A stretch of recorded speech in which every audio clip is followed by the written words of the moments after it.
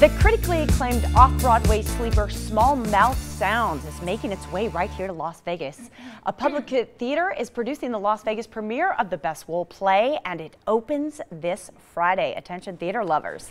Here with a preview is the director, Anne-Marie Pereth, along with actor Marcus Weiss. Good morning, guys. Good morning. morning. How are you? Really good. Thank good, you. Great. Thanks for having us. Yes. I am so passionate about live theater, and this is so exciting yeah. uh, that the production is opening. Uh, how are things going? Are you in dress rehearsals right now? Actually, we just had our tech rehearsal uh, yesterday for ah. 10 hours. I was going to say, how many hours was it? Yes, we were yeah. 10 hours in the dark, and it was really successful. We were really fine tuning all of those technical moments uh, and matching them up with what we've been doing in rehearsal for the last six weeks. Great. How, how did tech go for oh, you? Oh, great. I was just sharing with Anne Marie, you know, during tech, which is a, a 10 out of 11 hour day, um, yeah. uh, actors get to chill out for a second. But the director is constantly, right. constantly, yeah, I'm constantly doing stuff. Finessing. So it went great. Yeah. Yeah, right. it was beautiful. It was wonderful. It's going to be a great piece. Yes, as actors have a way of uh, having a good time when they're uh, left to their own devices, don't they? oh, sure. Either on mean, or off stage. Good time on stage yes. and, and, good time off stage, sure. Man, I haven't done a play in a while, but that, that's the thing I, I, truly miss is that camaraderie that you have within a cast. How many cast members do you have in the uh, show? Actually, we have seven cast members. Uh, Excellent. six silent retreaters and one um, actor who plays a teacher. And actually, he's not on stage. He spends most of the time in a, in a soundproof uh, room on a microphone.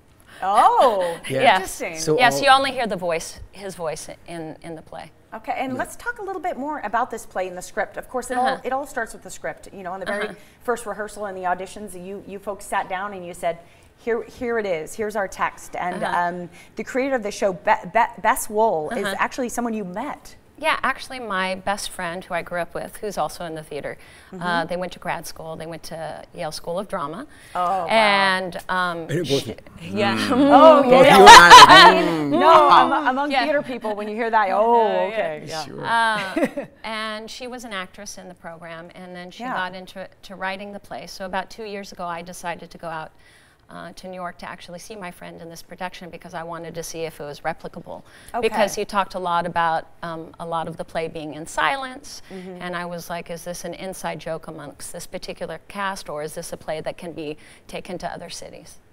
And very interesting. Marcus, let me get this straight. Yes. You, do you have no lines in this show? Well, I personally, I'm going to give away a little secret. I okay. actually have a three-page monologue.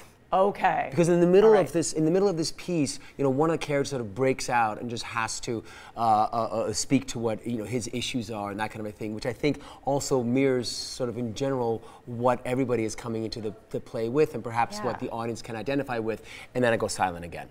And some people also, you know, some of the characters break the rules of the silence, which speaks to what the silence is about as well. Um, but it's about 75% silent, unspoken, unspoken hey, a lot can be communicated without words. My oh, co-host oh, doesn't know that, but no, it, it is true. hey, so listen, some of the themes of the show, uh -huh. yeah. what are some of the themes? Uh, well, like I was saying uh, earlier to Marcus, there's a lot of noise in Las Vegas, you know, yeah. with the strip and all of the technology, and we work really hard. And I think hmm. Uh, silence is, is a commodity that we all crave oh. for. So like when we go hiking and, and we really look at nature, that's something that really benefits us. And that's one of the things mm. is the be benefit of, of silence coming together as a community in the theater or in nature and um, communing in that particular way.